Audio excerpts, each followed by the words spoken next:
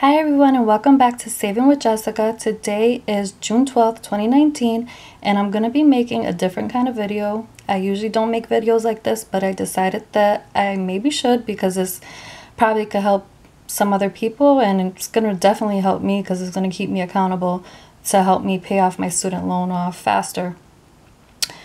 So let's see. So when I started with my student loan debt, I was at $18,735. And at one point, it reached up to almost $20,000.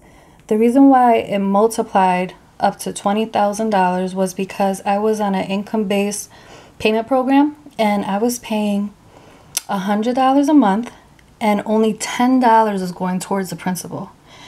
So the interest just kept compounding so after a year of doing that, I was like, I, I have to stop. I need to just pay the minimum payment. So then I started paying, and I was paying $252.07. And actually, now I'm paying $246.97 because I paid off one of the student loans. So I have a total of four student loans. But as of right now, I'm down to $7,731.71, which is actually not too bad, but it's not too good. Like, I want this at zero. I want this out of my life. So, let's see. So, for my first student loan, the original principal was a $1,050. I paid that off last year, so I'm all set with that one. So now I just have three more student loans that I have left to pay. So for student loan two, the original principal was $5,185. My current balance is $2,131.88.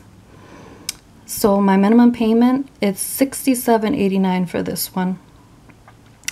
The next student loan I have, the original principal was $7,000. My current balance is $3,357.39.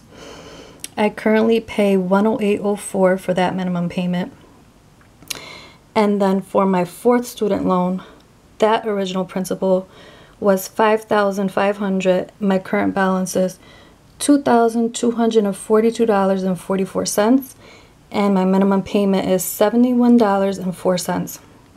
So that ends up being $246.97 I pay per month. And honestly, I, I don't want to pay that anymore. I'm so sick of paying it. So what I decided to do is, so I made a payment today.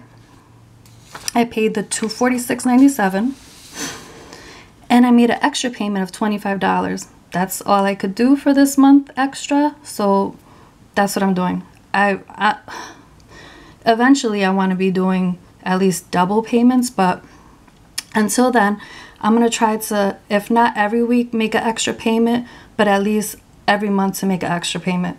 We'll see how that works. But I put down these balances, which is, they're not really correct because that's not including the interest. But this is just um, subtracting from my balance today, the 7,731.71.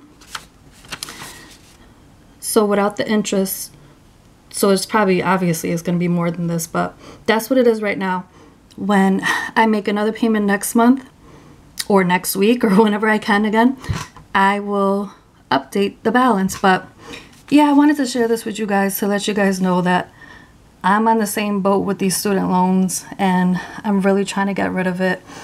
And let me know if you guys got student loans and how much you guys owe and what is your plan to pay these off fast. All right, I'll see you guys in my next video. Bye.